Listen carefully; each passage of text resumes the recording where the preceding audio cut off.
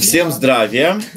А, мы сегодня продолжаем а, наше занятие по розе мира. И если вчера мы с вами говорили о большой любви, а, о большой жизни удивительного поэта нашего Данила Андреева, который в течение своей 52 лет жизни не увидел ни одно стихотворение опубликованное, и еще 30 лет после своей смерти не увидел – то есть 80 лет это, конечно, удивительное какое-то э, служение именно идеи, но он, э, причем вы знаете, что у него очень много просто было сожжено, э, уничтожено, и он восстанавливал потом в тюрьме все это по памяти. И напоминаю, что совершенно удивительным образом черновики «Розы мира», которая была написана в тюрьме, были переданы переданная Аля Александровна, когда она туда приехала, вместе с личными вещами Данила. А потом прекрасная женщина из ЦК, которая отсидела вместе с ней в Мордовии, она ей помогла сделать вот эту экспертизу в сербском, и таким образом ему не назначили повторный срок. Таким образом, «Роза мира» была опубликована.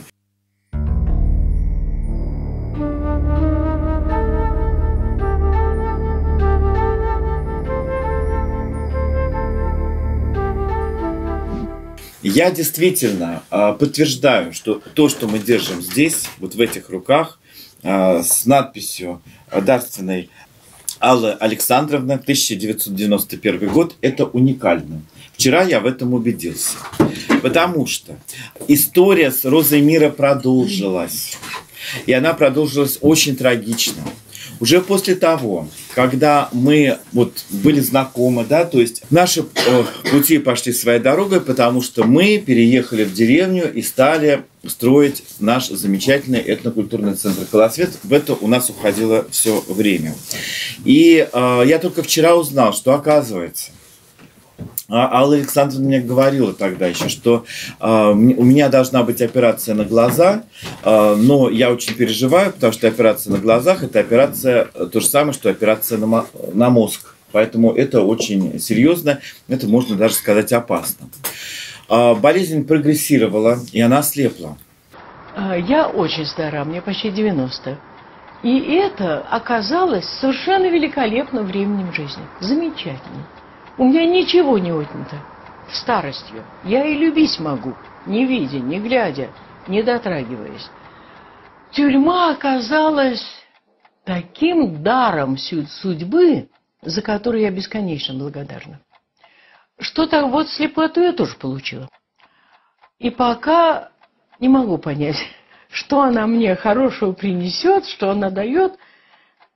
Но во всяком случае выносить это я могу, может быть, благодаря тюрьме и лагерю, которые приучили меня распределению ценностей, что важно, что менее важно, что совсем не важно. И потом, ну, если хотите, тому, что называется терпением, смирением и верой. Значит, так надо. Это не всегда легко. И когда она ослепла, тот э, фонд Данила Андреева, в который, э, в общем, она передала, она подписала все авторские права на все рукописи. И ее обманули, полностью обманули, и с той поры этот фонд пересдавал неизвестно что, поэтому вы абсолютно правы. Мы не можем, вот это единственный эталон, по которому мы можем сверить, роза ли это мира. Потому что те люди, которые там пришли, она очень сетовала, будучи, опять-таки, уже в плохом состоянии, вот, э, что э, не ведется никакая научная работа по Данилу Андрееву. То есть к вчерашним у меня вопросам, вопросы прибавились. Мы вчера с вами читали его удивительные стихи. Поэта Данила Андреева не знают. Мистика поэта Данила Андреева не изучают. Это э, я открыл интернет, я в этом просто убедился. А вот этот фонд сделал все, чтобы э, вообще поставить табу. Мало того, был суд. Алла Андре, э, Андреевна, э, это уже, так сказать, история после нашего знакомства. Она прошла добровольную психиатрическую экспертизу, доказавшую, что она была э, нормальная, но в состоянии подписи она была из-за боязни ослепления в состоянии аффекта, и поэтому она подписала. И э, вот эта удивительная история, я очень рад, что все вы можете открыть интернет и набрать э, больше, чем любовь. Ну, еще добавить, например, Данила Андреев, Алла Александровна или Алла Андреевна. Этот фильм выложен в Ютубе, и там вы можете увидеть э, Аллу Александровну именно такой, э, которой она вот предстает сейчас в наших воспоминаниях, то есть вот высокой, стройной, удивительно э, интеллигентной женщиной, которая э, излучала из себя ауру такого еще, я бы сказал, э, до до революционного, вот это, до, до революционной вот этой красоты, именно интеллигенции, которой мы поклоняемся и э, которую я не знаю, где мы сейчас можем увидеть. То есть это осанка этой женщины, как она входила, как она говорила, как она готовила, как она угощала чаем, это все просто вот это просто потрясающе. Напоминаю, они э, были венчаны, как вы помните, в церкви. Где-то они, получается, что они прожили 22, э, ну, сколько-то там лет. Ну, из них, э, я даже сейчас цифры не совсем точные скажу, но из них они несколько лет только были вместе. Потому что больше 10 лет они были в лагерях, в тюрьмах, в заключениях. И потом еще она вот его когда уже взяла на свои руки буквально, он был смертельно больной, и за два года он пишет «Розу мира». А, Алла Александровна как раз а, занимается а, этой розой мира, и в итоге она издает, она издает розу мира. Конечно же, роза мира это уникальное совершенно произведение – которая стоит э, в одном ряду, э, и время приблизительно, приблизительно, конечно, но оно одинаково с такой э, огромной работой Толкина, как «Властелин колец». То есть фактически одновременно начинается получение вот такого рода информации о тех мирах, которые на сегодняшний день называются фэнтези. То есть, э, ну, назвать фэнтези розу мира, конечно же, я не могу, потому что Роза мира – это откровение, которое давалось Данилу Андрееву, который получал и по свидетельству Аллы Александровны, те академики, которые сидели, его сокамерники, помните, да, которые э, преподавали э, уголовникам э, науки э, в его такой келье, Э, тюремной, они э, говорили, что он не мог не писать, как будто ему диктует, как будто ему что-то идет. Данил все это э, творил, потому что он чувствовал себе это признание, причем он осознанно не пошел. То есть он окончил литературный курс, но он не, он не стал публиковаться, он не стал писателем. Он говорил, я не вписываюсь в эту действительность. Он говорил частенько советскую действительность.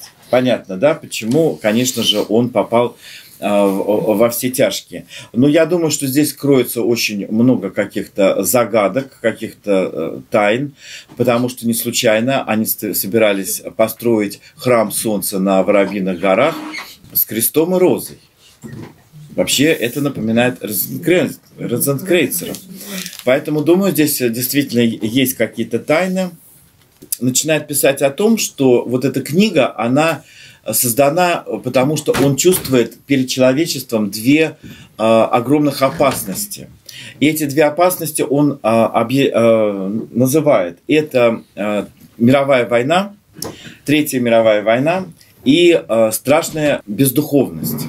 На самом деле э, его предсказания уже сбылись, потому что Третья мировая война идет, а страшная бездуховность сейчас уже облачилась в такие изощренные формы воздействия на человеческое сознание и на уничтожение человеческого рода, что только какие-то страшные уцраоры, описанные Данилом Андреевым, могут э, вот в литературной форме представить вот э, те силы зла, которые реально стоят за этими процессами. Совершенно правительски звучат его строки Деспотические образования планомерно осуществляют при этом принцип крайнего насилия, либо хитрым сочетанием методов частично вуалируют его. Темпы убыстряются, возникают такие государственные громады, на сооружение каких раньше потребовались бы века. Каждое хищно по своей природе, каждое стремится навязать человечество именно свою власть. Их военная и техническая мощь становится головокружительной. Они уже столько раз вергали мир в пучину войны и тираний. Где гарантии, что они не вергнут его еще и еще? И, наконец, сильнейший победит во всемирном масштабе. Хотя бы это стоило превращения третьей планеты в лунный ландшафт. Тогда цикл закончится, чтобы уступить место наибольшему из зол – единой диктатуре над уцелевшими двумя третьими мира. Сперва, быть может, олигархической, а затем, как это обычно случается на втором этапе диктатур, единоличной. Это и есть угроза, самая страшная из всех, нависавших над человечеством, угроза всечеловеческой тирании. Вот они пророческие слова. Мы сейчас понимаем, что есть олигархическая тирания, и э, в, э, в олигархической тирании мы даже знаем, фамилии тех, кто стоит э, во главе вот этого транснациональных корпораций, которые действительно ради сверхприбыли уже уничтожают буквальном смысле все человечество, которое покрыто и мусором. Поэтому он говорит о том, что роза мира будет приходить, конечно же, Данил, он большой утопист, она будет приходить через какие-то специальные вот такие вот институты, то что человечество придет к тому, что нужно будет объединиться в всеземную федерацию, и э, именно лучшие из лучших э, будут э, представлять человечество и осуществлять управление управления этим человечеством. Самое главное, э, упор он делает на этику, что в первую очередь должна существовать этика. Э, и, конечно же, он предполагает, что этот процесс необыкновенной энергии, и э, называет он, что будет создан человек облагороженного образа. И не обязательно, говорит, это пойдет долго. Это может пройти достаточно быстро. Э, наступивший 2019 год назван нашими аналитиками как год, мы говорили, начало Армагеддона на физическом плане. То есть весь мир сейчас будет а, подвергаться трансформации и форматированию. Никому сейчас спокойно жить на планете не получится. Все мы знаем, что постоянно под угрозой взрыва Йеллоустона, что происходит э, с мировыми, э, так сказать, процессами. И поэтому мы с вами понимаем, что человек а, облагороженного образа, это ну, важнейшее, вот чем мы с вами сейчас и занимаемся. То есть учение, почему оно дано? Для того, чтобы мы смогли воспитать человека облагороженного образа.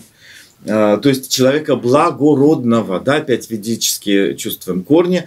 А, я, кстати говоря, посмотрел в, в книгах 40-х годов, все-таки пишется, пишется ведическая культура. То есть заявляю вам прямо, слово ведическая культура – это не новое образование кришнаитов. Оно давно используется в научной литературе. Нацистская Германия, например, ухитрилась добиться своего даже на глазах одного поколения.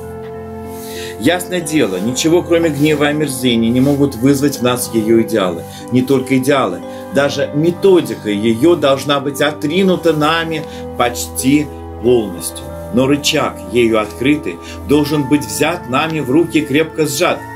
Приближается век побед широкого духовного просвещения, решающих завоевание новой, теперь еще едва намечаемой педагогики. Если бы хоть несколько десятков школ были предоставлены в ее распоряжение, в них формировалось бы поколение, способное к выполнению долга не по принуждению, а по доброй воле. Выполнение долга не по принуждению, а по доброй воле. Не страха а из творческого импульса и любви. В этом и заключен смысл воспитания человека облагороженного образа. Я тебе беру просто за цитату, потому что именно в это время э, мы э, продвигали идею создания анахатической педагогики. Мы даже такое название, такой термин ввели. Э, мы его, конечно, как-то даже потом написали, как-то не помню, педагогика сердечности или педагогика сердца. И когда, вот э, вчера я вам уже сегодня не принес вот это драгоценный, я боюсь, что у меня вообще один экземпляр, вот эта газета, где впервые Данил Андреев с тонкого мира увидел свои стихотворения, была издана она в Лесотехническом институте. А мы как раз-таки, а, вот когда вот э, все это творили, мы создали вот курс «Сила в завете предков», от которого это все и пошло. А, и студенты сюда приезжали в 90-е годы по 20-30 человек, и как молодые лоси здесь вот э, бегали, а, по полям собирали, как говорится, хлеба, урожай, ну, я имею в виду сено, а, учи, учились мы все работать, и здесь-то мы вот как раз вот это столкнулись. Вот это, представляете, выполнение долга не по принуждению. Ну вот в колосвете это основная задача. Я вот не буду говорить сложность, проблема, потому что мы не можем ничем ударить. У нас э, мы не можем, э, ну что мы можем? Повесить на доску позора там, или, ну что мы можем, да? То есть человек все делает не по принуждению. Чувство долга, понятие, как индусы говорят, дхарма, понимание, что это надо э, и э, творческие импульсы любви. То есть мы не можем всех загнать. Все на мистерию солнечную коляды. Все вот, все репетируют. Это должен быть импульс солнца и любви. Вот сегодня такой импульс прошел.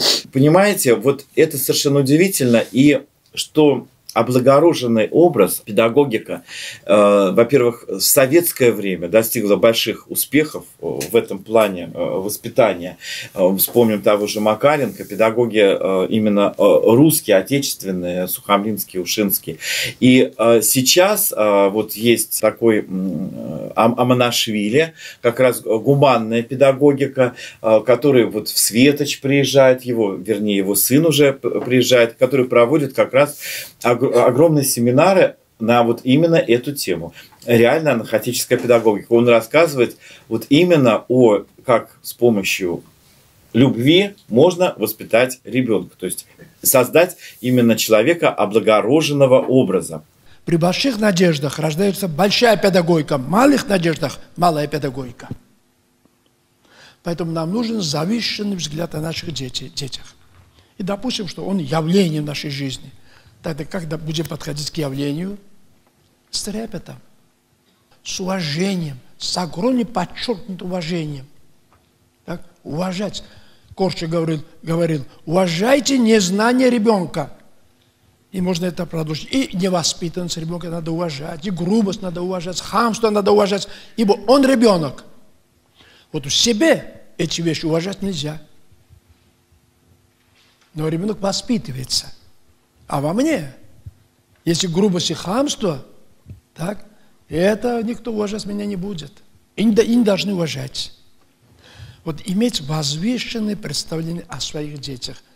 Пожалуйста, придерживайтесь этому представлению, и чтобы он, ваша мечта правда состоялась, ищите методы в ваших мечтах, а не в конкретных ситуациях. Он нагрубил, и тут же даете сдачи, тут же в угол, тут же не пущу, тут же не дам, как ты смеешь и так далее. Вот размельчается педагогика. А, мне очень радостно, что в связи с этими занятиями мы вспомнили вот этот термин. Его можно, конечно же, в наших беседах о традиции, традиции и воспитании на нашем а, канале «Сказок от Абы Юна» из Колосвета как раз-таки вот об этом а, говорить. Данил пишет сразу же об удивительном человеком, который смог видоизменить мир не путем насилия. Великий Махатма Ганди, первый в новой истории государственный деятель, праведник, он утвердил чисто политическое движение на основе высокой этики и опроверг, ходячее, и опроверг ходячее мнение, будто политика и мораль несовместимы. Махатма Ганди пешком прошел всю Индию со своей шахте женой. Пешком всю Индию, босиком, можно сказать. И предложил очень простой способ. Не сотрудничайте с англичанами. Я вчера все думал. Может быть, нам вот пойти по, по Руси и каждый дом, заходя, говорить нашей семьей, не сотрудничайте с американцами. Выглядит нелепо, к сожалению. У нас была мысль, мы же запустили, когда вот только был вот этот момент, а, когда был Крым, когда вот это мы стали, вот Крым стал наш. Крым закрыл Макдональдса. Крым закрыл Макдональдсы. И мы запустили в интернете э, информацию. Люди, давайте три дня хотя бы не ходите на американские фильмы. По всей стране Голливуд погибнет. Это реально так.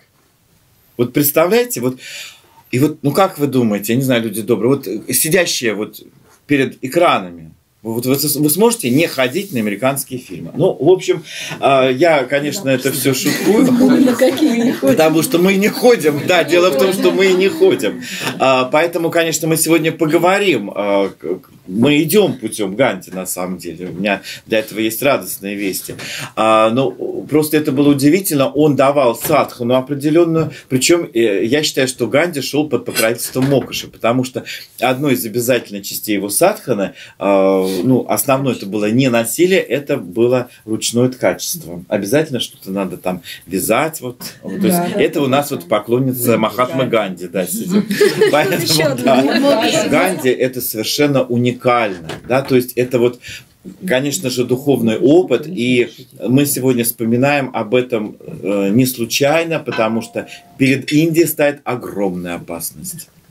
Наши аналитики даже написали президенту Индии о тех опасностях, которые Индию в течение в этих ближайших лет. Ее будут ломать не знамо как. Уже Майдан в Индии начался. 10 миллионов шудр подготовлено. То есть есть почва, куда кинут бомбы. Очень важно, что вот здесь, понимаете, Махатма Ганди был праведник. Вот эта праведность, это вот это очень важно. То есть, когда он читал, а, выступал а, в английском парламенте, он вот читает, читает лекции, представляете, а потом говорит так, извините, у меня время пуджи. Отходил, садился, весь парламент, все пэры, лорды сидели, ждали, пока слышали такое э, не все зубы были, э, он про прочитает пуджу прочитает Пуджом Намашимаем Намашиваем. То есть сидите, европейцы. Вот этот уровень. Поэтому мы пойдем по домам, когда наши люди уже поймут, что не стыдно выходить в народных костюмах, не стыдно петь русскую народную песню и э, водить хороводы, это здорово. Вчерашний день показал, все-таки 40 человек прибыла, даже одна женщина из Санкт-Петербурга, э, просто вот на наше выступление, чтобы радостно поводить хороводы, то есть побыть вот э, в этом удивительном э, родном поле. Роза мира э, предполагает интеррелигию.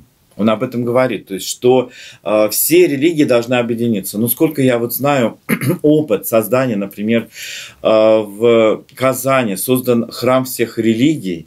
Э, создатель этого храма, у него очень трагическая судьба, потому что все религии э, невероятно агрессивны. Поэтому э, как и политика, как и идеология. Да? И поэтому мы берем сейчас с вами именно розу мира для того, чтобы усилить свое мировоззрение. То есть, чтобы усилить свой э, мировоззренческий фундамент он, э, конечно же, пишет о том, что существует предрассудка, предрассудок о э, науке, что наука где может все. Но на самом деле наука находится на службе у олигархов. Это мы просто видим сейчас э, невооруженным глазом. И о том, что религиозные институты, да, то есть они также находятся в определенных политических играх. Но это не имеет отношения к истинной науке, к познанию истины этого мира и к познанию Бога. То есть, как мы помним, да, Вернадский говорил, что существует три способа познания мира. Научный, э, божественный и с помощью искусства. Вот что интересно, Данил Андреев – фактически тоже открывает вот эти возможности. И он э, пишет о том, что э, религия должна, конечно же, э, перевоплотиться.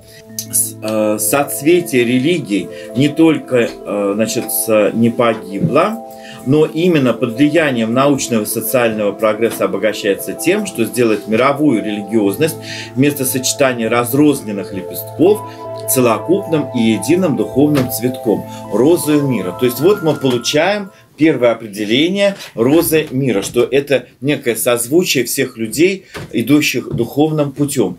Потрясающе. Но именно же в это время, во время Великой Отечественной войны и до нее, э, пишется Агни-йога э, мы сейчас не берем, да, вот этот аспект, до которого была написана тайная доктрина Блаватская, которая как раз-таки э, все были наполнены только одной мыслью, как объединить разрозненное э, человечество. Движение, которое предохранит себя от искажения идеала и методики, нерушимой броней высокой нравственности. Такое движение не может не быть признано прогрессивным, перспективным и творчески молодым. Вот о чем он пишет. Броня нравственности. Каждое слово Данила Андреева в сегодняшний день звучит просто как набат, оно звучит как колокол. Дальше он пишет о том, что, конечно же, э, первый огонь э, розы мира разгорится в России – Никто, кроме Господа Бога, не знает, где, когда затеплится первый огонь розы мира страна, Россия, только предуказана. То есть он говорит о том, что страна Россия предуказана. И когда мы говорим о розе мира, то мы берем, я беру просто уникальный совершенно журнал «Аун», издающийся в Нью-Йорке и вышедший в 90-м году. Все это было в одни годы понятия не имею. И вам просто читаю страницу 21. Это учение принесла в наш мир Елена Петровна Блаватская. Основной основой теософии – космос, эволюция духа и существование великих учителей мудрости. Блаватская описала миссию учителей и эволюцию человечества и этим обрекла догму полному пересмотру. Хотя Блаватская была унижена и осмеяна наукой и руководителями церкви, она указала на 1975 год как на время, когда должен сойти на Землю новый духовный импульс, который поднимет человечество на более высокую ступень мирового развития. Предсказание, сделанное более давно-давно. Импульс действительно сошел. Учение пришло в этот мир, и пришло оно в Россию. То есть предуказанное э, вот всеми, э, так сказать, предвидцами, оно воплотилось. И мы имеем счастье сегодня здесь сидеть и заниматься по этому учению, э, по тому духовному импульсу, который вновь, вновь пришел, и пришел он в Россию. И, конечно же, здесь он пишет о том, что это не должна быть какая-то религиозная конфессия. То есть роза мира – это, конечно же, должно быть учение. А что значит учение? Учение – это значит истина, которая э, содержит в себе принципы великого закона и не облекается в догмы. Что всегда хотят э, люди? Люди всегда хотят новых знаний, э, новых догм. Вот это, то есть люди не хотят мыслить. Люди хотят повесить еще на кого-то свою ответственность. Вот э, есть у нас Спаситель, мы все грехи на него там повесим. Но э, именно наше исконнее мировоззрение, а, а мы с вами вчера читали стихи Данила Андреева и увидели, какое у него отношение к природе, э, к, родной, к родному миру, к родной былине, оно как раз предполагает вот такое понимание, ведическое понимание э, именно истины и ответственности за то, что ты делаешь. Э, как традиция наша говорит, э, у нас нет грехов, у нас э, есть поступки. Поступки бывают благие, бывают лихие, и за все мы несем ответственность. Поэтому нельзя, как у Достоевского, помните, а я буду грешить и каяться, грешить и каяться. Это очень удобная, конечно, для сознания уловка, понимание того, что э, Бог всевидящий, а в первую очередь мы сами себе судьи, и суд совести, который мы проходим, суд великого разума, это суд нашей совести. Поэтому основа нашей традиции, это, конечно же, э, вхождение да, вот, э, в э, святилище через Семаргла, где мы оставляем тень, где мы э, призываем Симаргла не оставить нас угрызением совести, потому что если совесть э, внутри нас э, не гложет, э, то значит уже совсем-совсем уже все плохо.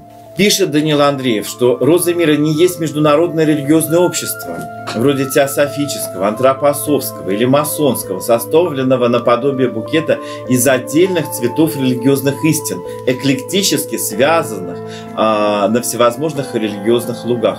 Это есть пан-религия в том смысле, что ее следует понимать как универсальное учение, указывающее такой угол зрения на религии, возникшей ранее, при котором все они оказываются отражениями различных пластов духовных реальностей, различных видов иноматериальных фактов, различных сегментов планетарного космоса. А здесь, э, что называется, выдохнуть. Под планетарным космосом понимается совокупность слоев различной материальности, различного числа пространственных и временных координат, но непременно связанных со сферой Земли как планеты. Планетарный космос – это земной шар во всей сложности материальных, а не физических только слоев его бытия. Подобная могучая система именуется у множества небесных тел, они называются брамфатурами. Брамфатура Земли носит имя Шаданакар. Об этих словах, как и многих других, употребляемых здесь впервые, есть словарь. То есть Даниилу давали определенное название. В конце здесь имеется э, вот этот э, словарь а, вот этих э, слов. То есть мы вот видим там, например, э, Яросвет, Крагор, вот стихиали, Уцраора. То есть он дал определение существам тонко материального мира. То есть Даниил, э, так как он сам путешествовал, он пишет, э, то есть он путешествовал в этих мирах, то э, он и просто их описывал. Он просто их описывал. И это, по сути дела, я бы не сказал, что это ченнелинг потому что это все-таки нечто иное. У него были определенные проводники, была определенная миссия, и самое главное, была выстраданная жизнь а, ради этой миссии. Сказать, что придет учение розы мира, которое даст понимание истинных ключей ко всему. Вы меня поняли, да? То есть дело в том, что без понимания ключей истины – мы не сможем даже разобраться в розе мира. Мы можем запутаться, потому что мы понимаем прекрасно, что в начале своей жизни у Данила действительно было такое специфическое, вы помните, что он написал записку, а, я разрешаю тебе, бабушка, умереть для того, чтобы встретиться с мамой, потому что про его бусеньку, то есть э, Александру его бабушку, не ма... ой, извините, про э, Александра это его мама была, а, то есть э, ему даже не могли сказать, что она умерла, то есть, а она, он жил э, жизнью э, дарованной бабушкой, потому что э, то, что я вчера как-то побоялся сказать и озвучить, я в фильме это увидел, а, Александр на это и говорит. Она ему подарила жизнь. То есть он когда болел дифтеритом, она умерла, а он выжил. Поэтому буквально через сколько-то времени над речкой Черной его поймали. Он стоял на мосту, он хотел просто пойти в гости к бабушке и маме. То, что для него умереть было это, ну вот у него такой, он всегда был э, рядом со смертью, поэтому мы с вами абсолютно правы. Он находится как-то вот по, по, под покровительством Велеса, а Велес, да, вот эта взаимосвязь с мирами, с волшебством, и именно он вводит в своей детской мифологии бога веселья, а это как раз есть Велес, и э, вот такое э, рядом стояние с, со смертью, оно делало Данила э, именно причастным нашей так, скажем, так скажем, ведической основе, православной основе. Православный человек не боится смерти, потому что он понимает, что ее нету. Наши предки понимали, это сохранилось в народной традиции. Понятие какое, что когда человек рождается, он умирает на том свете, рождается на этот свет. И там все плачут, а здесь все смеются. А когда он умирает, то здесь все плачут, а там все радуются, потому что ждут его за столом э, с рассказами о том, как жил его род. Такой истинный э, угол зрения, вот именно розы мира, он должен обнять Шаданакар как целый, как часть божественного космоса Вселенной. И поэтому, если старые, э, он пишет, религии это лепестки, то роза мира – цветок с корнем, стеблем, чашей и всем содружеством его лепестков. То есть учение должно собрать, вобрать в себя весь лучший э, опыт человечества. Потом дальше он пишет о том, что это могут быть только учения правой руки – то есть он не смотрит, а, конечно, мы не можем брать учение так называемой левой руки, то есть такие направления, как сатанизм, черный шаманизм, то есть это не берется. Именно те учения, которые э, вели человека к Богу. Напоминаю, что у Данила Андреева всю его э, пребывание в тюрьме была иконка Серафима Саровского, чье незримое э, присутствие он постоянно ощущал. И он говорит э, Индия о зороастризме, то есть вот мы говорим э, о э, вот как раз э, том, о чем говорит всегда Сай Баба. Э, великий Сай, потому что он как раз, э, у него созвучие всех э, религий, да, вы помните это. Вот его эмблема. Индуизм, а, дхарма, да, буддийская, зороастризм, ислам, христианство. Да, можно посмотреть? Нет, я предлагаю подумать. Ему задали вопрос, только не надо пока, пожалуйста, сейчас ничего это христианство, это неважно, католицизм, мегаперсонационизм. Э, настолько имеется в виду здесь вот э, мировая религия, она есть, направлений ее очень много. Ну, в общем, когда к нему приехали и спросили, а почему здесь нету? А он сказал, ну вы догадливые детки. Да, он говорит, я ничего не озвучиваю. Он говорит, ну нарисуйте. Вот, то есть, а, понимаете, то есть мы здесь говорим о том, а, о том, что все религии, они ведут к Богу. Все народы. И, конечно же, все древние народы. И он здесь вот рассматривает сущность древнейшей иудаистской парампоры. То есть все э, дороги, они ведут вот к Богу. Поэтому, конечно, вам, дорогие телезрители, придется набраться очень большого терпения. Э, э, роза мира требует большого душевного труда и понимания. Но я хочу вспомнить о том, о чем говорила Алла а, Александровна. А, в фильме она этого не говорит, поэтому только я вам могу из устно передать.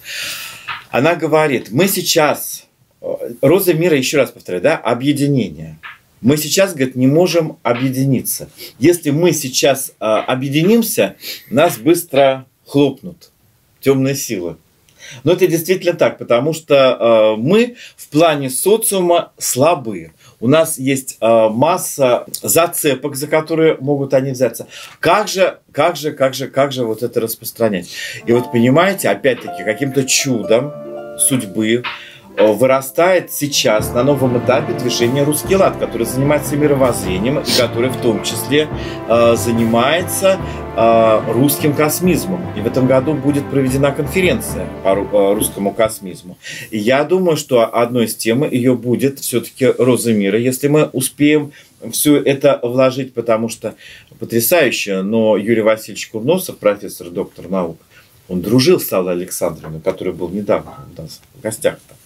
Понимаете? То есть, значит, как-то вот они, ниточки опять все сходятся, что мы должны об этом действительно говорить. Алла Александровна говорила, что когда призовут нас уже, вот когда призовут, мы объединимся. А пока мы более напоминаем все с вами партизанское движение, которое зародилось, зародилось в Можайском районе.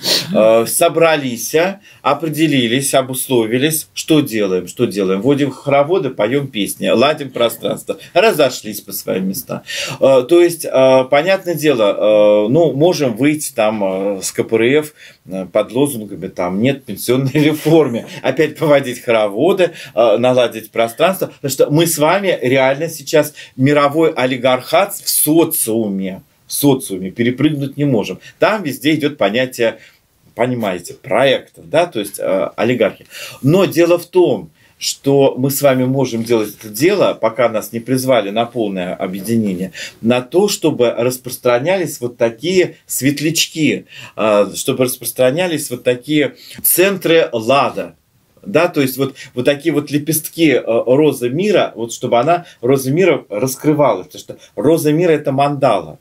То есть роза мира – это великая мистерия, вы же понимаете. То есть она разворачивается, роза имеет все э, пропорции золотого сечения. То есть э, это разворачивание в человечестве принципа великого закона. В первую очередь разворачивание его в сознание человека, принципа великого э, закона и принципов. Ну, то есть все зависит от нашей реакции, да. То есть вот э, можно считать, что звук готовящегося обеда он мешает очень серьезной лекции, а можно считать, как же я благодарен Маше, которая не участвует на этой лекции и готовит нам покушать. То есть от определения сознания то есть идет э, видоизменение смысла. У нас висело. То, что ты должен сказать, должно быть правдиво, доброжелательно и полезно. Можете это записать, повесить во всех углах своей комнаты. Это легче. Первая часть этого очень легко. Вот вторая часть тяжела. Все должно быть сказано доброжелательно, полезно и вовремя. Роза мира, она была сказана вовремя. Она была выстрадана, но сказана она была вовремя. Вот опять-таки, о чем мы говорим? О том направлении, которое сейчас мы можем подхватить буквально все. Это направление сердечная педагогика. Это броня нравственности и создание человека облагороженного типа. Понимаете, в чем дело? А согласитесь со мной, что сейчас нужна броня нравственности. Я друг, другого слова даже вот сейчас э, подобрать, это же Данил э, в те-то времена такого не было. Представляете? А стремление Розы Мира в том, чтобы стать восприемницей, умножательницей и толковательницей этого познания. Познание метаисторического откровения. Соборный мистический разум живого человечества она будет осмысливать исторический процесс его прошлым, настоящим, будущим, чтобы вступить в творчество, творческое руководство им. Если можно будет говорить о каких-то догматах в ее учении, то это догматика глубоко динамичная, многоаспектная, способная к дальнейшему обогащению и развитию, к длительному совершенствованию. Еще раз напоминаю, Данил Андреев во Владимирской тюрьме создает образ розы мира, как учение, которое проявится в человечестве, которое проявится в России, для того, чтобы быть именно живым учением, которое объемлет мир метаисторически, только не, не только не только физические процессы, но и процессы, идущие в космосе. То есть, если мы вспомним Агни-йогу, у нас есть явный пример. В тот год, когда побеждает Шамбала, когда оказывается битва в Шамбале, и Шамбала выходит, э, э, проходит этап своего очищения на тонком материальном уровне, в этот год происходит победа, битва под Сталинградом. То есть земная битва является отражением небесной битвы. Вот о чем постоянно говорит Данил Ан, Ан, Леонидович. Он постоянно говорит о том, что идет вот в этом многомерном, многослойном мире а, нашей Солнечной системы, еще раз повторяю, а, зем, земной вот этот, видите, у него есть понятие, да, то есть а, именно вот нашего Э, земного мира, э, брамфатуры. Брамфатуры. Я сейчас пользуюсь его терминологией. Он не называет эгрегор, он упоминает слово, вот это, называет это брамфатура. А брам, смотрите, уже мы слышим Брама, здесь какая-то связь с Брамой, да? Вот, вот э, именно здесь идет вот это многослойное очищение. Он пишет про принуждение, противопоставляет ему императив внутренней дисциплины. На воспитание именно этого импульса построится вся новая педагогика, о ее принципах, методах, как о методах перевоспитания и возрождения. Речь пойдет скоро. То есть, а, представляете, как это важно. А именно вот чем мы здесь занимаемся в Колосвете. Вы знаете, мы здесь занимаемся воспитанием и перевоспитанием. А, термин перевоспитания, вы знаете, где он применяется, да? Он применяется в тюрьме. А, но так как а, все сознания человека находятся в темнице его духа, вот, то есть в его а, вот именно сознание, как, как тюрьмы, тюрьмы его свободной воли, то можно сказать, что а, тема перевоспитания, она важна. Поэтому что первое идет в перевоспитании? Трудовое, трудовое счастье, тру, счастье труда, скажу я так. Вот, счастье труда. Поэтому, как говорится, чтобы познать силу Ганди, приезжайте к нам на грядки и приходите к себе на огород. Неважно куда. Главное, вот труд – это вот то, что всегда составляло основу нашего мировоззрения. Наши предки много-много трудились и гораздо меньше ели. Он пишет, конечно же, великого духа э, Ганди, то есть э, потрясающее зрелище. Человек, не обладавший никакой государственной властью, в подчинении которого не было ни одного солдата, даже ни одного личного слуги, не имевший крова над головой, ходивший на бедренной повязке, стал совестью, стал духовным и политическим вождем 300 миллионов человек. Это тогда. Ну, именно потому, что он был, между прочим, без крови над головой, и был э, в повязке. Я вижу совершенно четко, что когда э, мы все собирались в одном доме, э, вот здесь вот э, проблем было меньше. Когда э, человек, чем лучше, то есть я бы, вот знаете, как семинар проводил, чтобы все вы приехали вот в этой избе, вот на полу сено постелить, э, чтобы какую-нибудь бешеную выставить за это, причем еще сумму, чтобы зарабатывать целый год. То есть я к чему? Я не к тому, дорогие телезрители, а вы подумайте. Мы же сейчас решим этот вопрос легко. Тогда это ценится, потому что э, мы вчера вспоминали, кто куда здесь приезжал э, в этот в колхоз. Э, и понимаете, что интересно, что сейчас-то нет колхозов у студентов. Я думаю, они лишены, в принципе, самого главного, потому что именно все характеры, именно все выявлялось в колхозе.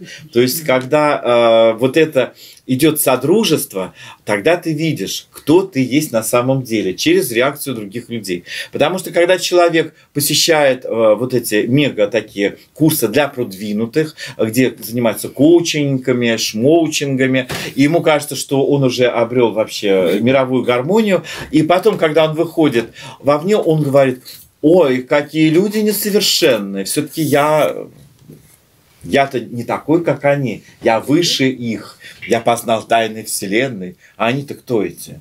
Там, людишки там бегают.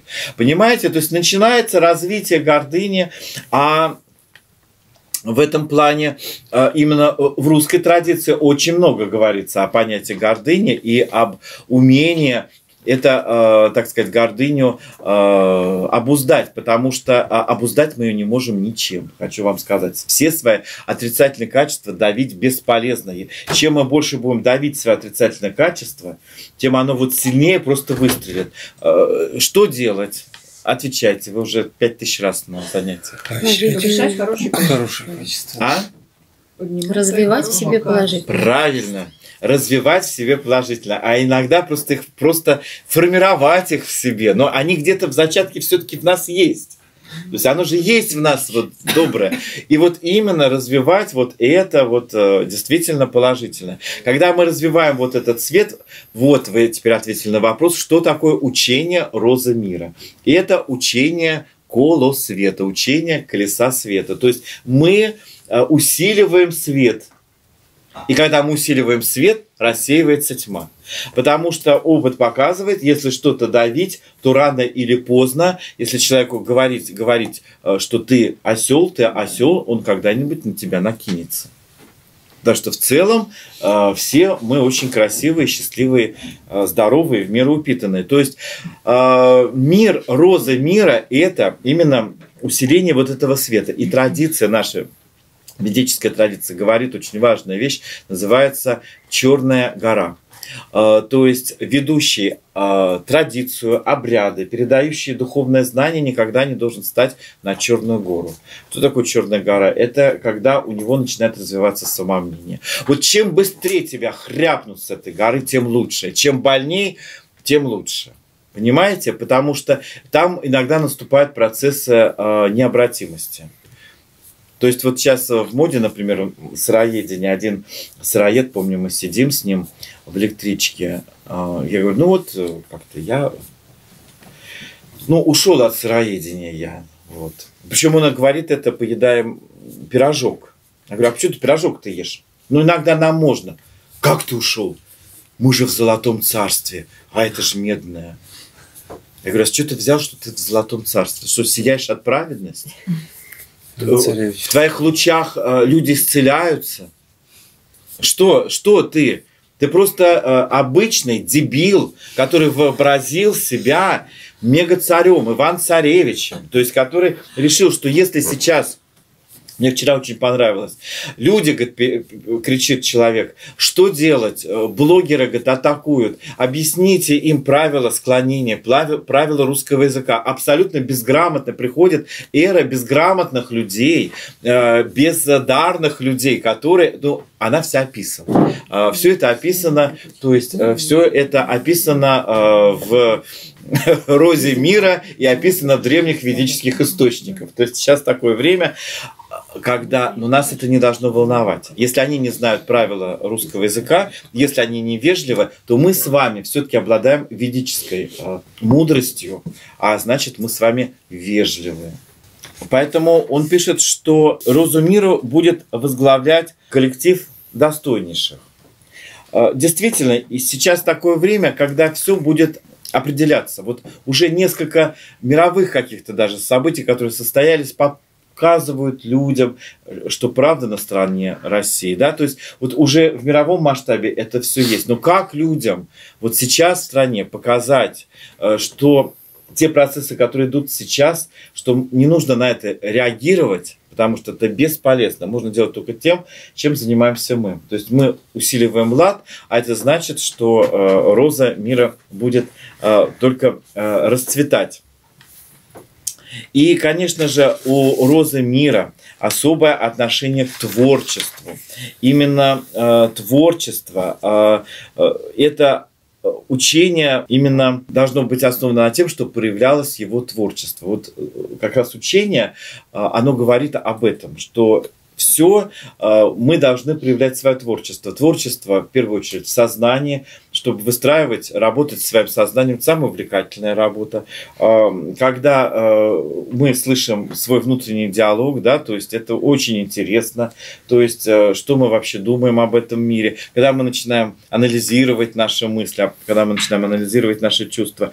И, конечно же, потом мы имеем большую вот эта э, радость именно творчества. А Данил э, мечтает о том, что роза мира, когда она расцветет, и вот в этом в поле розы мира будет все человечество, люди будут свободно заниматься творчеством. Дальше, конечно, я смотрю, все утописты делают одну маленькую-маленькую ошибку. Они все мечтают о том, что как-то так будет развиваться прогресс, что появится много времени.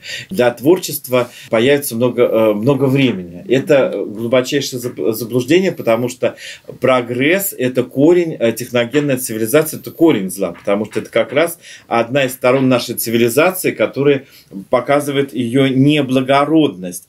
Но э, Даниил на самом деле пишет о том, что у человека есть э, много способностей,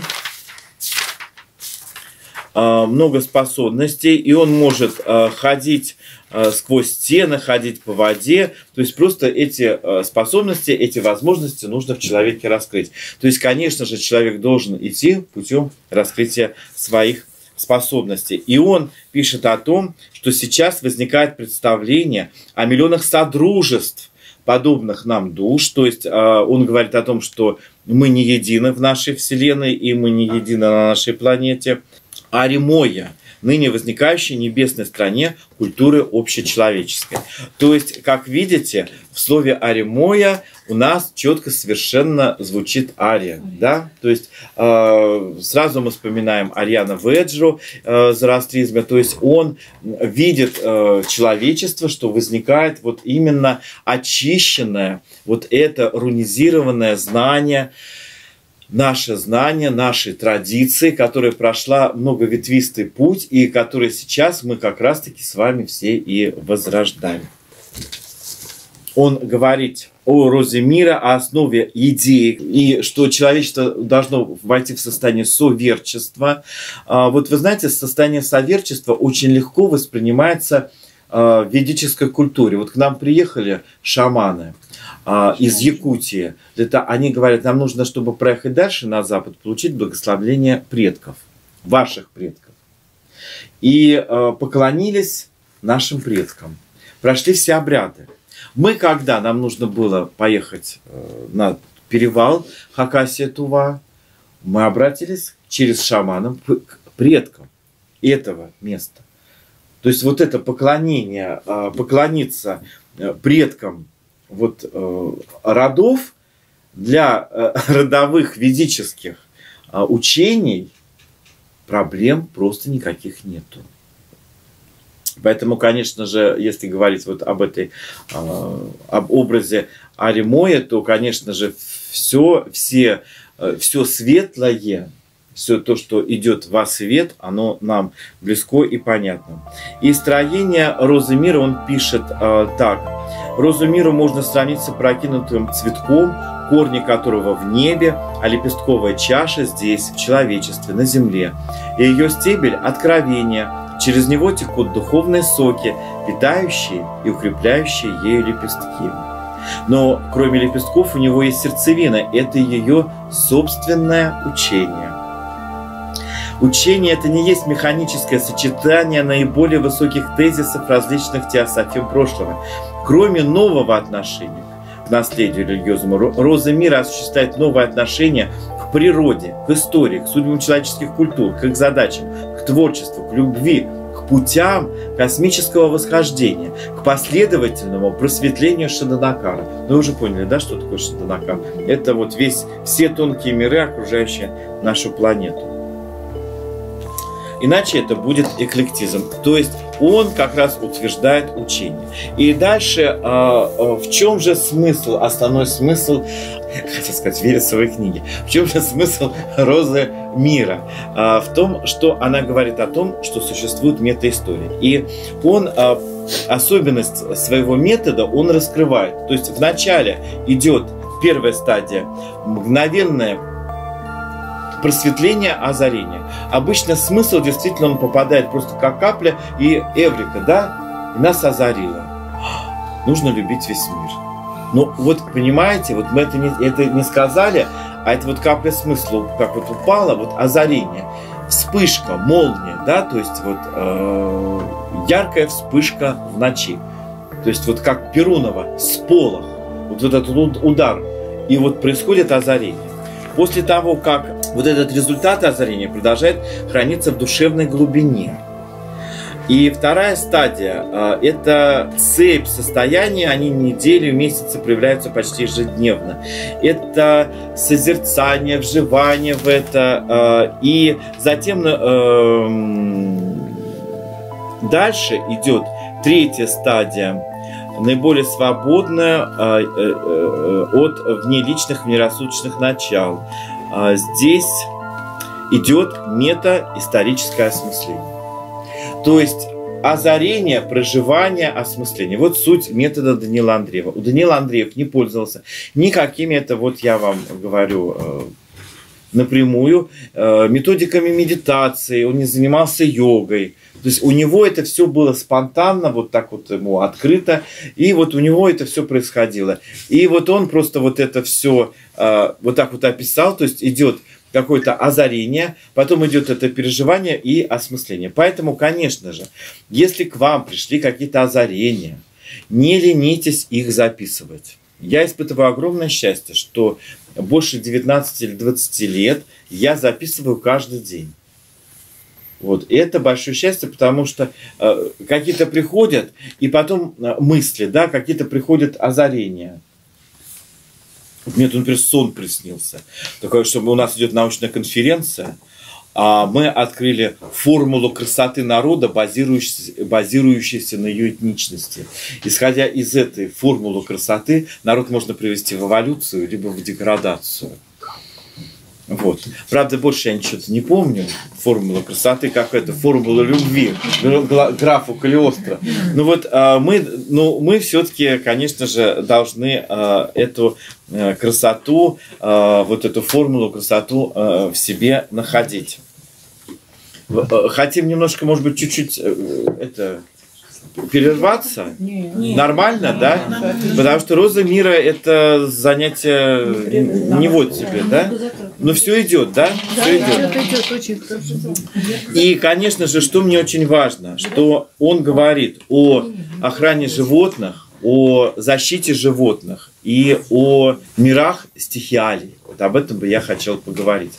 А скажите, пожалуйста, ну, вы прекрасно знаете ответ на этот вопрос. Я обращаюсь к нашим телезрителям, а, они с нами.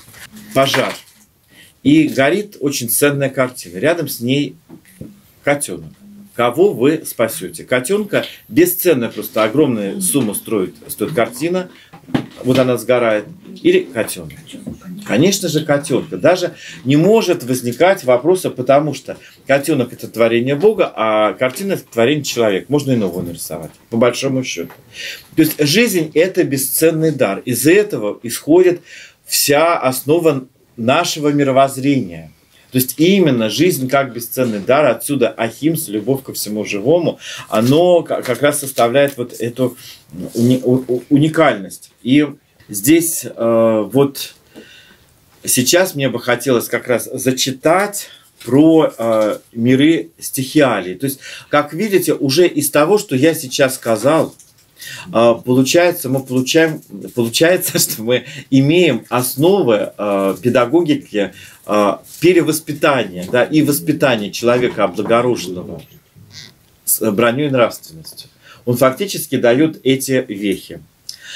И вот важный вопрос – Вопрос очень обширный, однако нетрудно, мне кажется, заключить, в чем будет состоять главная особенность этого отношения.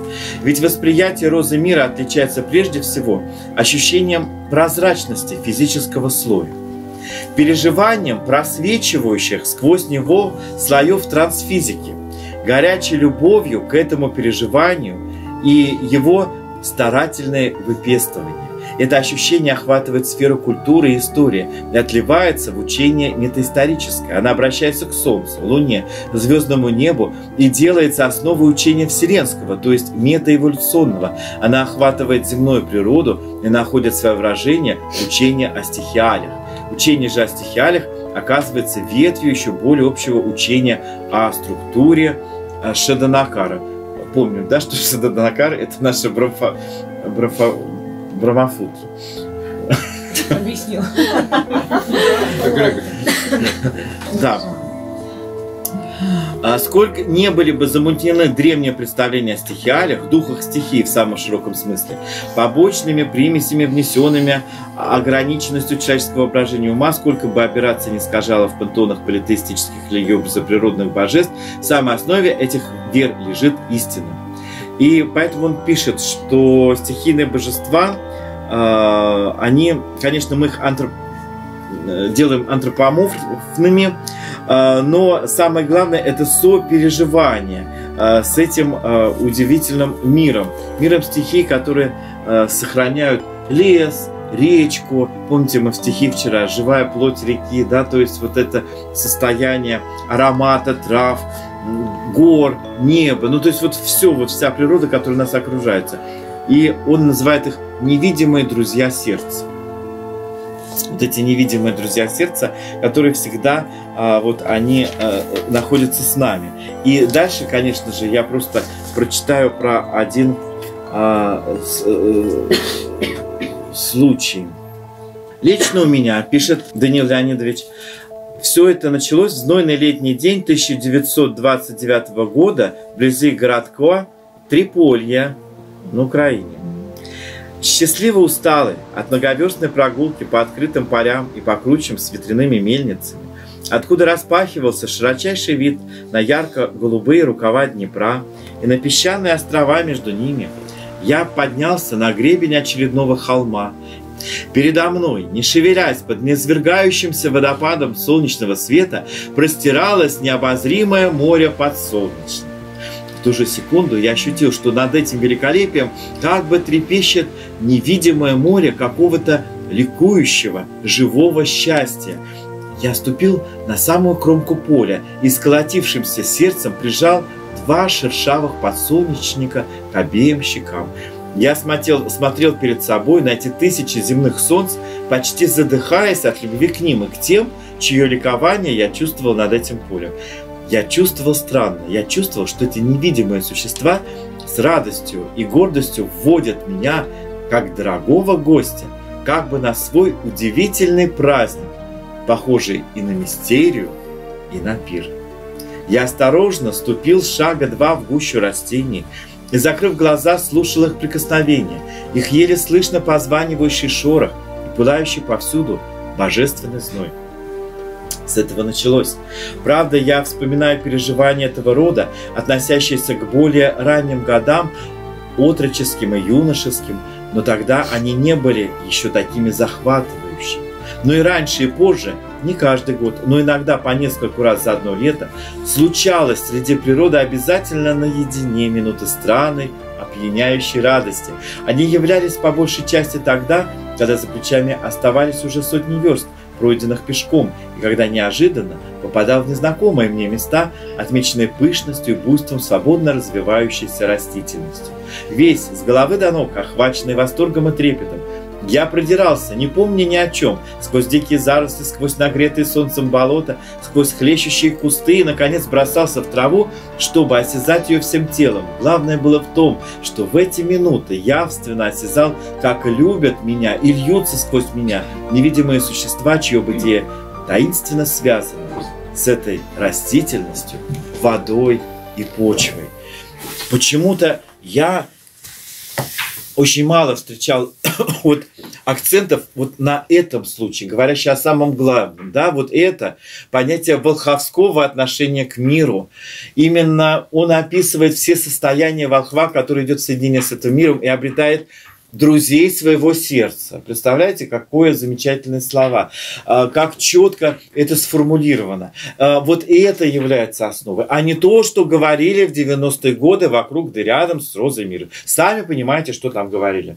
Там был сплошной ченнелинг. Да вот что нам подсказывает э, седьмая планета Кассиопея. И что нам пишут э, с этой звездной цивилизации? А так как мы были в Академии энергоинформационных наук, у нас была женщина, секретарь Академии энергоинформационных наук, которая, ну, так как э, все казалось э, метафизического, исторического, нервы нужно беречь, она постоянно вязала. А, и чтобы, ну, то есть сознание сохраняло какую-то стабильность. А представляете, каждый день к нам прибывали в академию разные люди. И вот однажды она сидит, вяжет, как всегда, э, вбегают э, куча людей, говорят, мы к Фирьязу Рахимовичу. Концевирову, то есть основателю э, и основоположнику термина энергоинформационного обмена в природе, собственно, и руководителя Академии энергоинформационных наук. Я знаю, сейчас он, он сейчас воспримет. Вы не понимаете, вы не понимаете. Вы понимаете, с Юпитера прилетели, уже прилетели. Я знаю. Откуда вы знаете? Так вчера у нас делегация с Венеры была. Они предупредили о том, что сегодня с Юпитера. Понимаете, вязание помогало сохранять чувство устойчивости. Но именно только это окружало э, розу мира. То есть э, познание тонких миров, хождение, раскрытие, разд, раздалбливание третьего глаза. Еще раз повторяю. Э, все, что нам дается, любая э, какая-то, если нам дается способность, да, как талант, мы за это должны платить своим духовным совершенствованием, то есть важна броня нравственности. Вот о чем пишет Данил Андреев в этой книге. И поэтому, конечно же, когда он приводит опыт вот этого метафизического э, определение многостойного мира, он приводит, о вступ, э, речь идет о вступлении Будды в состояние абхиджны, широкое прозрение в сферы, не имеющие названий, в бесчисленные системы миров и солнц, двигающихся с поразительной правильностью, мириады за мириадами, где каждое светило является самостоятельным целым и в то же время частью целого, одним из серебристых островов на Сапфировом море, вздывающимся в бесконечном стремлении к переменам. Он видел владык света, которые держат миры невидимыми узами, а сами покорно движутся вокруг более могущественных светил, переходя от звезды к звезде и бросая непрестанное сияние жизни из вечно меняющего центров до самых последних пределов пространства. Все это он видел в ясных образах, все циклы и эпицикл, весь ряд кальп и маха кальп. А, когда Э, нам один рассказывал брахманского рода человек молодости. А, но он когда родился, там все это просто в Индии, ему э, астролог уже прям написал, говорит, о, говорит, в России будешь жить, на русской женишься. А, но были усомнения у брахмана, у родового э, жреца, что он сможет стать волхвом, да, брахманом. И однажды он говорит, а вот все-таки, вот все-таки, а он тянулся он, в общем-то, больше, как говорится, коммерции. Ну, по, ну, в итоге он поехал, здесь окончил университет Патрис Лумумба, бизнес 90-е годы. Вот такая как бы эта история. А предыстория такая, что э, так как они были из древнейшего рода Сарасвати, однажды ему он сказал, пойдем на, э, в долину нашей древнейшей реки. И мы посмотрим. Они пошли. Он стал читать, э, вернее, петь, да, веды, они поются. Он стал петь мантры. И он говорит, посмотри, какая сила мантры. Он поет мантры, просто показывает на растение, и оно вспыхивает энергией. Он показывает, жар-цвет расцветает. Вот это тот самый жар-цвет, который происходит в Купальскую ночь. Это вспыхивание мощной энергетики, которая выходит из-под земли. Это как раз из царства Велеса. А говорит, теперь заходи в реку. Он зашел в реку, и Брахман начал читать древнейшее заклинание. Он помнит, что он вот увидел, вот приблизительно то, что я вам только что э, написал, что весь мир стал единым, вот это все, все вращается одно в другом. То, что, помните, нас в детстве очень пугало, вот эта бесконечность, а еще у нас бесконечность, а представляете, а у нас еще клетки, а в клетках атома, это все взаимосвязано, и вот это все, а где мы, кто я, очнулся через две недели он в больнице. Да, прям как в это в кино. Очнулся гипс. Он очнулся, он потерял сознание, без сознания прилежал две недели, и он увидел над собой склоненного брахмана, который ему сказал, видишь, ты не выдержал. И миллионная доля выдержать это секундное состояние. Ты, поезжай в Россию, не быть тебе брахманом, а, то есть, ну, не по судьбе. Непростая у него была судьба, поэтому э, меня очень предупреждали, меня сильно предупреждали. Не снимай фильм про Розу Мира. Не снимай фильм про Розу Мира. Я сейчас даже озвучивать здесь не буду многие вещи. Но предупреждаю вас. Потом, э, то есть Розу Мира можно читать только с ключами нашего учения Колосвета. Это я заявляю с полной э, ответственностью за свои слова. Иначе унесет в водоворот таких тонкоматериальных ощущений, что мама не горуй. И еще мало того, это еще отражается на э, конкретно на личной жизни, на, на всем. Дело в том, что э, это нужно понимать. Ну, 90-е годы, ну что вы. Баюн решил кино снимать. Боженька уберег вся пленка оказалась непонятным образом, а это же не пленка была, это уже цифра, ну или что там было, ну, не знаю, что там было в 90-е годы, какие, ну это была профессиональная камера, она вся вот так вот засветилась и звука не было. Не снял я этот фильм. Есть в интернете фильм «Больше, чем любовь». И там вы пообщаетесь с Аллой Александровной, э, которая э, как раз э, вот представит такой, как мы, когда мы с ней познакомились. Поэтому, конечно же, конечно же, вот представить себе, да, вот, а вот Сай Баба, он это состояние каждую секунду держал. Это вот, вот это состояние, вот вы теперь понимаете, что это вот умение держать вот это состояние. То есть начальное озарение, Потом это все вот это сопереживание, а потом еще это осмысление. И тогда вот это входит к нам знанием. Поэтому меня просто потрясают, когда люди начинают говорить, ой, а вы опять все то же самое будете, Ольга все те же самые тетради будете читать? Да вот эту розу мира, чтобы ее, ее, на, ее 20 лет надо читать. И читать вот так вот стро, строчку, потому что читать-то мало, надо же, для чего э, вообще существует, да, вот наши встречи? Для того, чтобы мы это знание вот именно через осознание. И э, я вам даже завидую, у вас же синяя тетрадь, даже вчера какая-то история была интересная. Вот, то есть такая святочная, святочная история. Вот, вот, то есть все, все нашлось. То есть вот э, с помощью этих ключей. И э, дальше, конечно же, я завершаю сегодняшнее наше занятие по розе мира Э, на странице 45, потому что это основное, то, с чем, о чем нужно говорить сейчас с каждым мужчиной и с каждой женщиной. Здесь вот как раз написано э, то, что является основой нашего учения. Я же вам обещал. Святки так святки. Происхождение зла. Мировые законы кармы. Очень внимательно слушайте. Если миф о восстании и падении Люцифера рассматривать в применении к духовной истории Шаданакара, он потеряет смысл. Никаких событий в метаистории нашей планеты, которые могли бы быть отражены в событиях этого мифа, не совершались никогда. Совершилось однажды, весьма давно, нечто иное, о чем воспоминания, хотя и очень искаженные, сохранились в некоторых других мифах, например, в сказаниях о бунте титанов. Об этом, впрочем, предстоит говорить подробнее в другой связи. Что же до легенд, связанных с восстанием и падением Люцифера, то эти события совершились некогда в плане вселенском и превышающего все категории нашего разума масштабах той макро-брамфатуры, которая объемлет Вселенную. Этого не, встреча, не встретите вы нигде.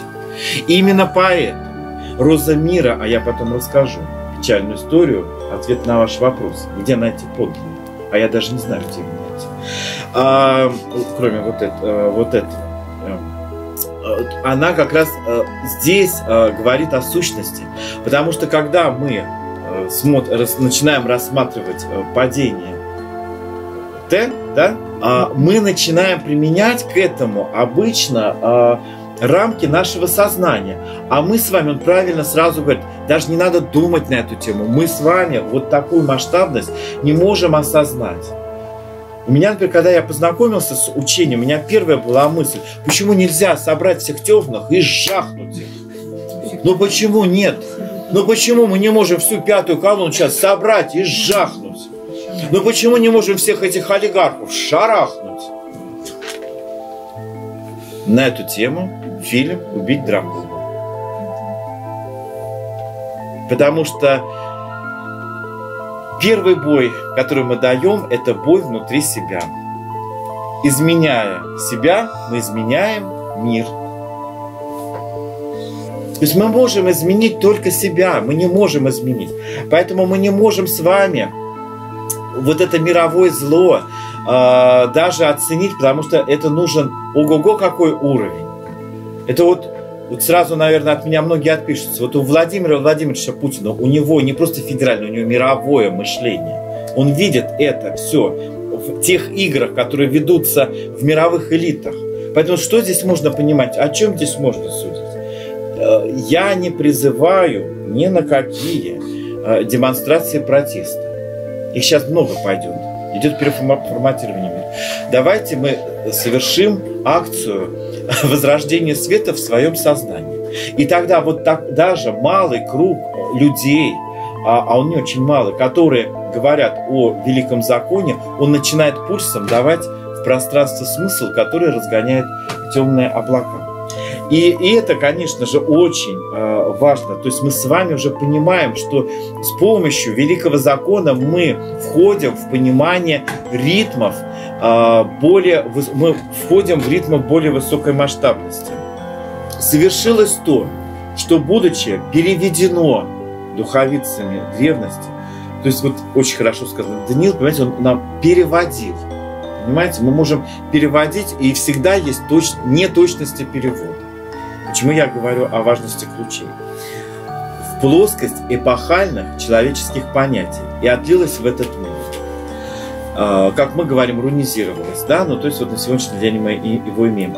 Эпохальные понятия отмер, отмерли, масштабы наших представлений расширились неизмеримо, и если теперь мы хотим уловить в этом мифе бессмертной истины семь идей, мы должны пренебречь всем эпохальным, внесенным в него, и остановиться лишь на одном – центральном факте им утверждаем. Естественно, что сознание даже мудрейших в те времена отстояло от теперешних представлений об объеме и структуре Вселенной так далеко, что ведение Вселенского, просачивавшееся в их сознание благодаря усилиям, усилиям невидимых друзей их сердца, сдавливало, стискивалось в тесном объеме их эмпирического опыта, их сильного, но не обогащенного и не истончившегося ума. Впрочем, мало чем легче и задача того, кто ныне пытается выразить в человеческих понятиях и словах хоть отзвук вселенской тайны о восстании так называемого Деницы. Такая попытка состояла бы из двух стадий. Выискивание в океане наших понятий именно тех, которые ближе других к отражению этой запредельной реальности, во-первых. Выискивание в океане нашего языка таких словосочетаний. Вы понимаете, да, почему у нас много нахоров? Потому что нужны а, а, словосочетания, которые в состоянии хоть сколько-нибудь отразить, в свою очередь, эти ускользающие понятия. Во-вторых, но такая работа связана с органическим ростом личности и ее вселенского опыта. Ее нельзя форсировать по собственной прихоти. Я чувствую себя находящимся лишь в начале этой работы. Поэтому говорить что-либо о вселенских событиях этого порядка я не могу, кроме обнаженной констатации некогда совершившегося факта. В незапамятной глубине времен некий дух, один из величайших, называемый нами Люцифером или Деницей, выражая неотъемлемо присутствующую каждой монаде свободу выбора, отступил от своего Творца ради создания другой Вселенной по собственному замыслу. К нему примкнуло множество других монад, больших и малых. Создание ими другой вселенной началось в пределах этой. Они пытались создавать миры, но эти миры оказывались непрочны и рушились, потому что, восстав, богоотступнические монады этим самым отвергли, отвергли любовь, единственный объединяющий, цементирующий принцип. Вселенский план провидения ведет множество монад к высшему единству. По мере восхождения их по ступеням бытия формы их объединения совершенствуются. Любовь к Богу между собой сближает их все более. И когда каждый из них погружается в солнце мира и сотворит ему, осуществляется единство совершеннейшее, слияние с Богом без утраты своего неповторимого «Я». Вселенский замысел Люцифера противоположен.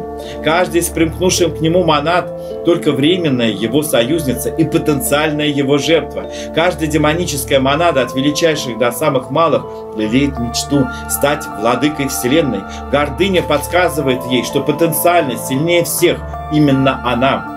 Ей руководит своего рода категорический императив, выражаемый до некоторой степени формулы «Есть я и есть мне я» все не я должно стать я, то есть мной. Другими словами, все и все должны быть поглощены этим единственным, абсолютно самоутверждающимся я. Бог отдает себя. Противобожеское начало стремится вобрать в себя все. Вот почему оно есть прежде всего вампир и тиран. И вот почему тираническая тенденция не только присуща любому демоническому «я», но составляет неотъемлемую его черту. Поэтому демонические монады объединяются временно между собой, но по существу они соперники не на жизнь, а на смерть. С захватом локальной власти группы скоро вскрывается это противоречие, начинается взаимная борьба и побеждает сильнейший. Но Господь творит новые, новые монады. Вот в этой огромной борьбе, которая действительно решительно э, не просто осознать. Я э, вспоминаю то, что всегда цитировала, а может быть, она передавала его слова. Может быть, я единственный, кто передам вам эти слова Данил Андрей. У Бога есть Он сам любовь, и только у Бога есть время. У Деницы, то есть у Люцифера, времени нет. Поэтому темное начало не может ничего создать. Оно может только извращать, оно может только разрушать. Я думаю, что вы внутренне потрясены. Даже как и я сегодня ночью, когда, э, перечитав Володя Егорова с благодарностью Алла Андреева, э, посмотрев немного этот фильм, я нашел подтверждение своим словам. Дальше история складывалась так. А, я говорил о том, что Алла Александровна э, была больна. Она говорила, что ей нужна операция на глазах. Но она боится, потому что операция это на мозг. э, постепенно э, Алла Александровна слепнет. И э, фирма Урания, э, которой там руководила некое существо, используя вот настигающую слепоту Алла Александровна, вот эта фирма или общество, не знаю как, э, можно сказать, обманным путем завладевает права, правами на э, работы Данила Андреева. И э, что самое ужасное, уже слепнущую Аллу Александровну беспокоило только одно, что книги не переиздаются, что если они переиздаются, то они не проверяются, поэтому не знаю, что там издается вообще. Вот, вот мы имеем, что там они понаписали. И то, что Э, конечно же, самое главное то, что э, именно не ведется серьезная исследовательская работа розы мира. Я сегодня ночью обнаружил, что эта работа не ведется. Не литературоведческая, не искусствоведческая, не историческая, никакая. Вот пишут что-то про другие миры, про инопланетян, вот очень активно. Ну да, Данил э, пишет про это, про тонкие там миры. Вот почему-то все заостряют. А вот на таких базовых вещах, отношение к природе, отно, вот что такое роза мира, что такое э, друзья сердца, вот можно как это развивать, вот есть же что здесь развивать в этой книге, есть что показать, э, да, вот это образ вот этой любви. Алла Александровна, она говорит, я жила в мирах Данила Андреева, я редко соприкасалась вообще с внешним миром. То есть она все посвятила для того, чтобы это было издано. И она это издала. То есть вот эти книги издала Алла Александровна. То есть «Роза мира» при ней вышла. Московский рабочий, между прочим, фирма Алиса. Вот. И авторские права Алла Александровна Андреева. То есть, понимаете, значит, позже все происходит. Вот. А, Железная мистерия, а, ансамбль «Русские боги», «Роза мира» и «Железная мистерия». Вот то есть триптих основных его книг. И а, понимаете, в чем дело? Она все это выполнила. Она все это выполнила. И 30 апреля 2005 года, на 91 году жизни, она сгорела в своей собственной квартире. В интернете есть даже справка. Я сегодня ночью даже эту справку увидел своими глазами. Оказывается, в интернете есть прямо список всех пожаров. Кто погиб, что. А нашли Аллу Александровну около дверей, обожженную, а, сложившую руки, как египетская жрица. Хранили ее в закрытом гробу и все это вы можете увидеть в фильме «Больше, чем любовь». То есть это произошло в 2005 году. Ей после смерти уже Швидкой отписали права. Но, слава богу, уже больше ей мучиться не надо. Ну, хватит уже. Ну, сколько можно женщин? Она уже отсидела в лагерях всю свою молодость. Она потратила всю свою жизнь на розу мира. И вот получив какой-то глоток в свое время, а, конечно же, э, во времена перестройки, она сумела это все издать и попалась в ловушку а, вот тех самых, о которых пишет Данил Андреев. И, конечно, э, то есть вот она ушла к нему через огонь. Она ушла к нему через огонь. Причина не. У нее не было лампад, она не могла зажигать огонь, и проводка сгореть не могла. Поэтому те книги, которые вы увидели вчера, они уникальны. Все сгорело. И вот э, пометуя действительно о таком удивительном человеке, который вот воплощает принцип дхармы, как она сказала, для чего посылается женщина в этот мир, чтобы украшать его и молиться. А вот э, я думаю, что мы все-таки как-то донесем э, до людей вот эти идеи прекрасной розы мира, то есть то, ради чего она положила свою жизнь, и вот так вот а, так, она, в принципе, была в нищете последние годы, потому что ей не давали ни копейки это издательство. Все, то есть ее, ее просто опять обокрали. Вот, на что, я думаю, она, к чему она относилась так же, как Данила Андреев. Ну а что? Носовой платок замечательно, можно на него лечь и прикрыться, и будет темно в, в тюрьме. А, и все-таки, а, если мы читаем, то мы видим, сколько жизнерадостности. Вы верите в то, что вот здесь вот сейчас я вам читал про подсолнухи, написано в тюрьме?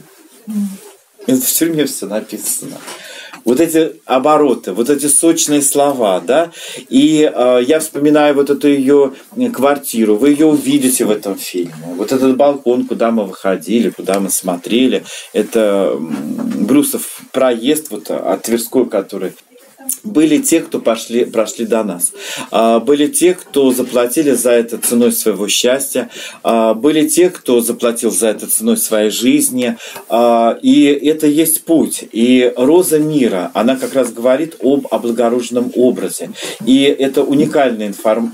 уникальная возможность того, что мы с вами живем как раз в этом прекрасном, благоухающем цветке, эволюции человечества, когда мы способны именно осознать свое триединство, осознать свое строение, свое место в этой многомерной вселенной, а, познать мета-историю, с помощью познания мета-историю уже определить и то, что э, человечество испытывало, э, э, так скажем, в своей жизни. Ну, используя все-таки принцип святок, а, это, куда ткну там, то сейчас я прочитаю. Когда стоп скажете? Стоп.